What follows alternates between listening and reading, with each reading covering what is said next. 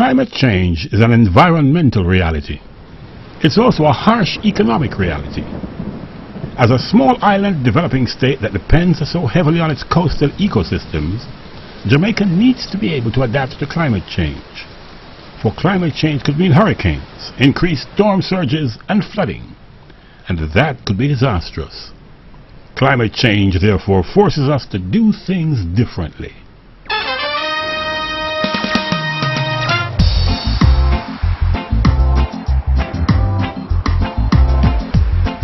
Some Jamaicans had already begun to feel the effects of climate change and had started exploring new ways to earn a living. I used to do farming. I used to plant catch crops like the carrot and those and take to the market in Sav-la-Mar. Things not bearing like before. So I have to make a switch and go over to beekeeping. The way we do things at times, we need to consider how we do it and we have to do it in a sustainable way. Fishermen are now complaining that they are getting less catch. Coal burners, they are also complaining that there is not much coal for them to burn and so they are encroaching on other sensitive areas, especially watershed areas, wetland areas and so on, and depleting our natural environment. I used to do goat rearing on a wide scale but because the climate change and the, we, when we're getting rain, we get a lot of rain. So because the amount of rain, I, I used to last my goat 10 and 15 per day. So I lose a whole lot. So then I started to think, why not go into the bees more seriously? Because the, the, the rain will not affect the bees as bad as it is actually affecting the goat. One thing that we see over the years is that the weather is changing. Also, the fishery is depleting. And um, so one of the things that we got was the Bluefields Bay declared a fish sanctuary. And uh, when we got it declared, we realized that the only way the fishery is going to truly come back unless we reduce the pressure on the fishery um, and also re really reduce, looking at what kind of also alternative livelihood given that um, climate change is here and it is here to stay. Then a most timely intervention, the Climate Change Adaptation and Disaster Risk Reduction Project. Through the EU UNEP Climate Change Adaptation and Disaster Risk Reduction Project, we have an opportunity to now do something about climate change. NEPA's component is focused on adaptation, increasing the resilience of our coastal ecosystems, so our mangroves, our seagrasses, our coral reefs and also increasing community resilience in these areas. So we are making the communities more resilient to climate change by providing them with opportunities to delve into other livelihoods. We visited eight communities which shared $15.8 million to pursue their new life-changing initiatives. Three of them think beekeeping is the way to go. Why? Honey is money. And the, the good thing about with bees before you even have the honey, you have a market for it. Because the market is there.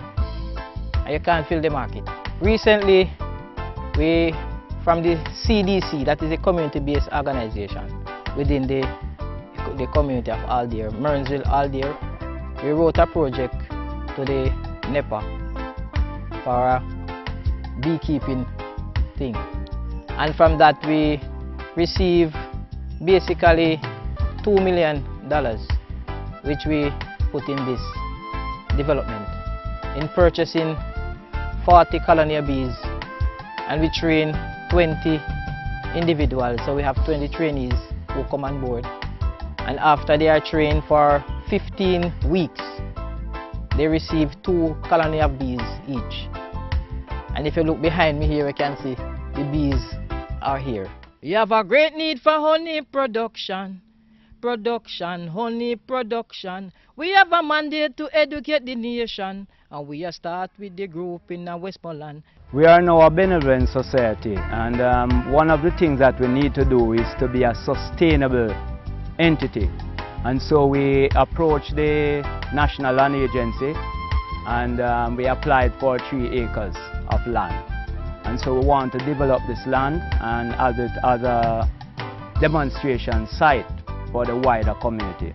And hence this project through NEPA is coming at the right time, I would say, to enhance our development and particularly as it relates to livelihood. Well, we saw they had and I talked to CCAM who actually are NGOs in the area and we go to a seminar then we were educated by NEPA on climate change and what have you. I make an application on it. I was selected and this is where we had in the process training some young men to becoming bee farmers as myself.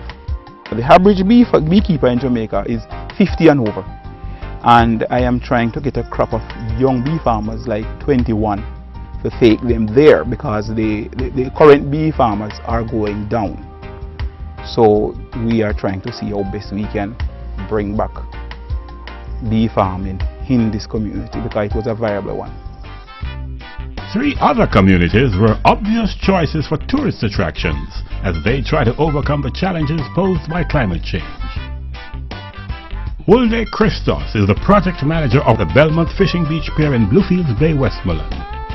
We have a tourism entity established. We are attracting tourists to the area.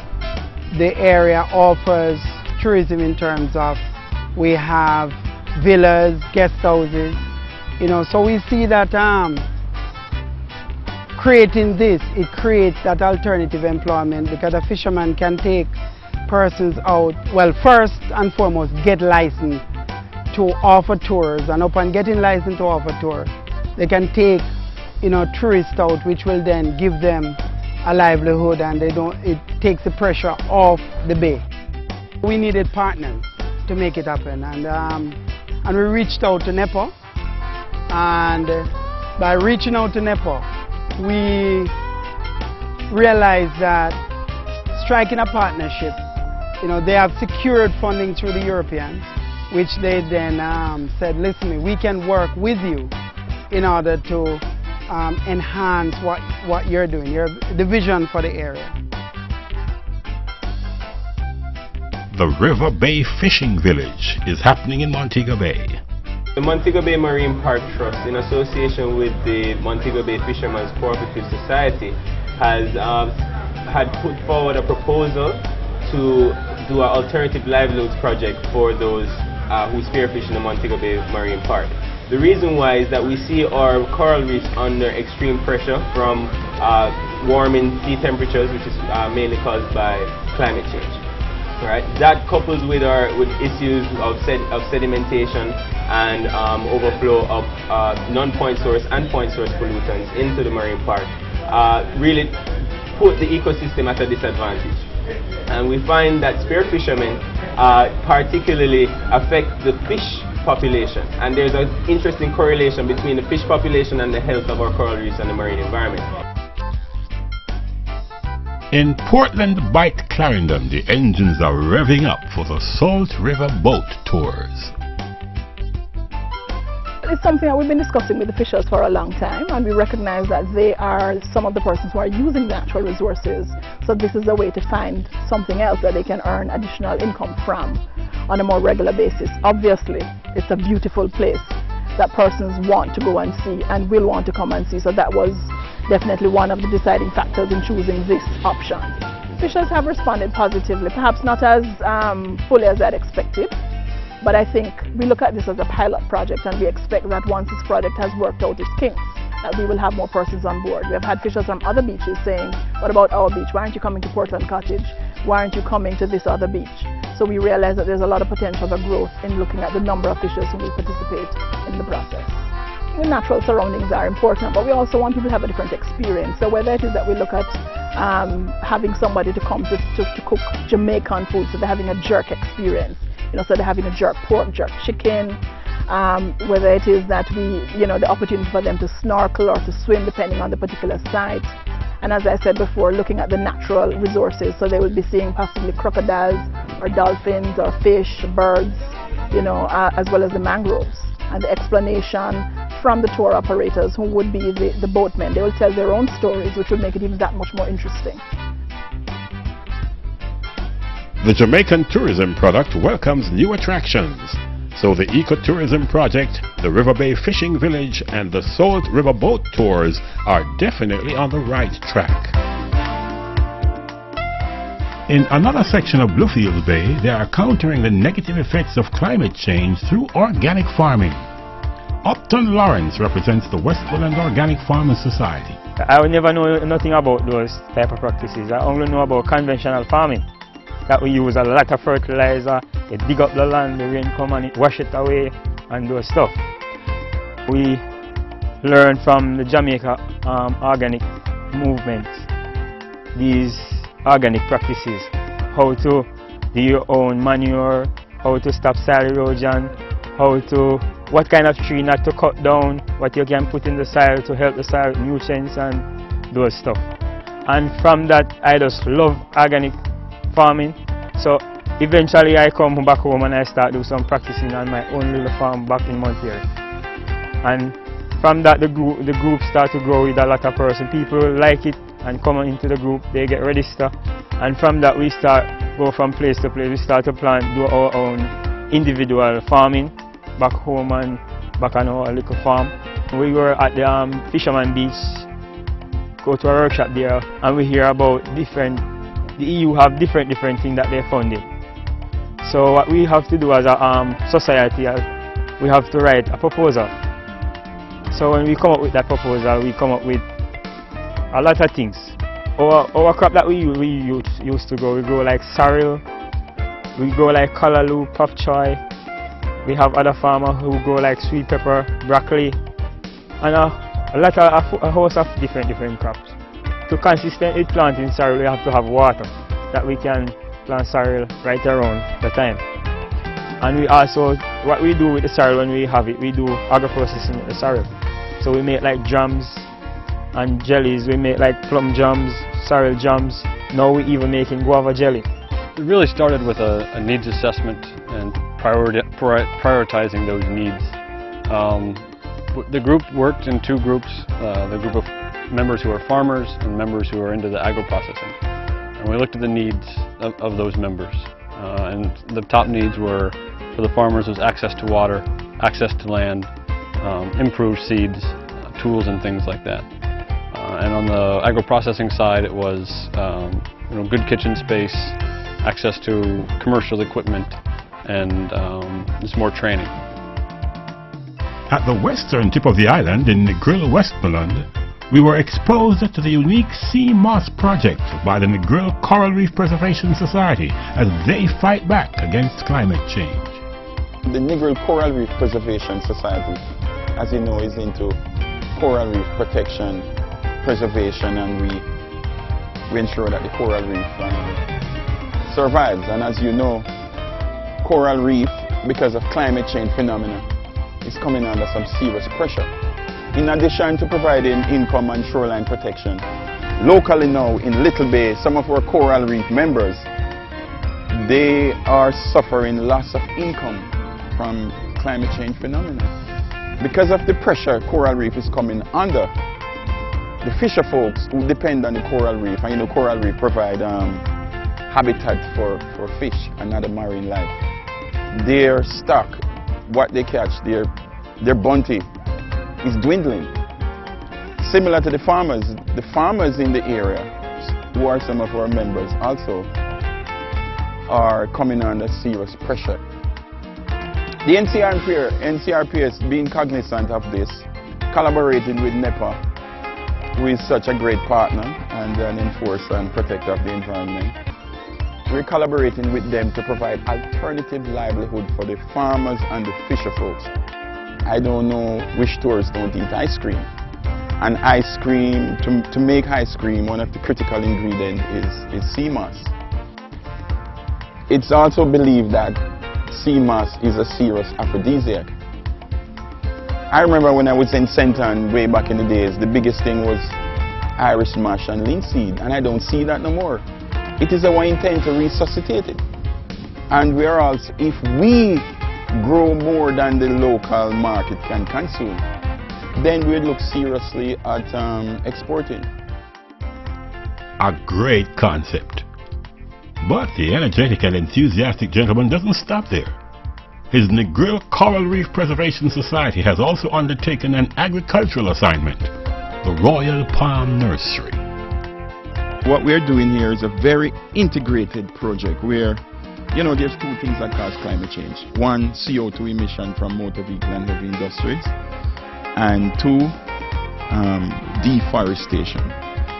So the carbon in the atmosphere causes the climate to warm. So we, we figure that any alternative livelihood that we're going to approach, then it should address one, taking the CO2 from the atmosphere and sequestering it into the ground where it belongs and two, um, taking cars off the road because we believe 500 palm trees would be the equivalent of taking about a dozen cars off the road annually. The amount of CO2 that it would store into the ground. And three, it would be, provide livelihood for the folks.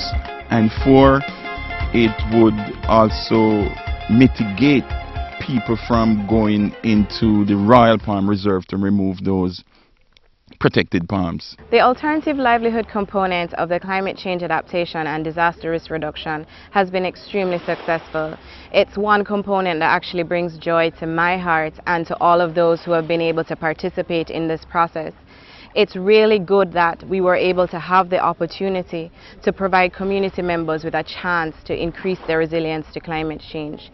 It's exposing them to livelihoods that that can expand, that can grow, that can provide um, resources for the community, that can provide an opportunity for people to send their children to school while still taking care of the environment. Everything is rolling quite fine. Just and and and, and the, the, the, the good thing about it, the trainees, they are committed.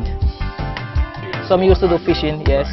Some used to do carpentry Okay. and all of that and they gravitate right over now to honey production.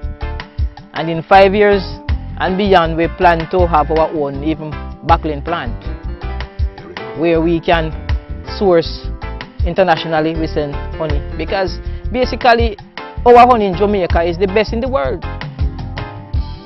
And there's a great market overseas because right now we can't export honey because we don't have enough. We are hoping that in another few years we'll be counting as we are counting now and then we want to farm ourselves in a cooperative. Um, it's just a drop in the bucket. Thinking about the economic crisis facing the country and the communities generally. And then to persuade farmers from, I mean coal burners, from burning coal. It's not easy. It's part of their culture. Also the fisher folks, it's part of their culture. But I know that they will realize as they are realizing the serious impact they are facing right now, especially from climate change. We are looking in areas um, where we can sell bees and, and, and hive bodies and what have you. Because if we do our split and do our breed, we can actually sell bees itself, honey itself and honey byproduct. Where's the market for that? We could do bees for marketing, wax for production, wax for cosmetic, wax